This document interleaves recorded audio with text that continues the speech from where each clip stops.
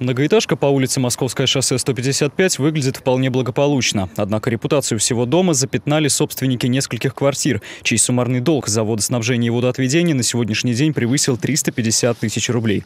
Уведомления о неуплате давно перестали пугать этих жильцов, и коммунальщики перешли к радикальным мерам. Сегодня будем выполнять отключение должников в многоквартирном доме по адресу Московское шоссе 155. Будет опускаться через фановую трубу э, заглушка и перекрываться канализационный выпуск. Ограничение стоков э, будет проходить по э, канализационному стояку, ограничение будет производиться локально. Те абоненты, которые платят, не будут подвергаться отключению.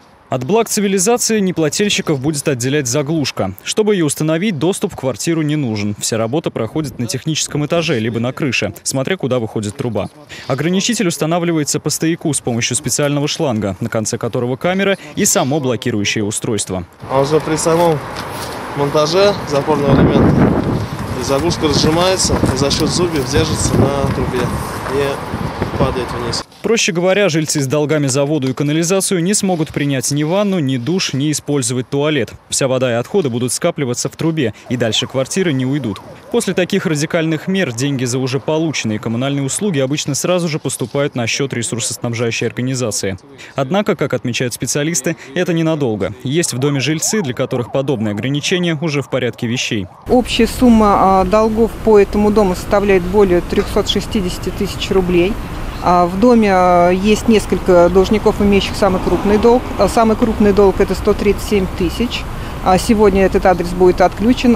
Также есть другие адреса, в том числе один из адресов платит нам только после установки заглушки. Вот такая вот особенность тоже есть. В этом году у РКС «Самара» появилась новая система уведомления должников. Если неуплата собственника жилья за услуги водоснабжения и водоотведения только начала копиться, ему присылают уведомление желтого цвета. Когда цифры долго вырастают в несколько раз, уведомление присылают уже оранжевого. Специалисты отмечают, что такие индикаторы лучше помогают жителям сориентироваться и в случае необходимости принять меры. С 25 ноября в Самаре началась серия отключений самых злостных неплательщиков. На прицеле у РКС «Самара» порядка 45 тысяч адресов. Если жильцы этих квартир не погасят долги, то останутся без канализации как раз в новогодние праздники. Михаил Ермоленко, Сергей Баскин. События.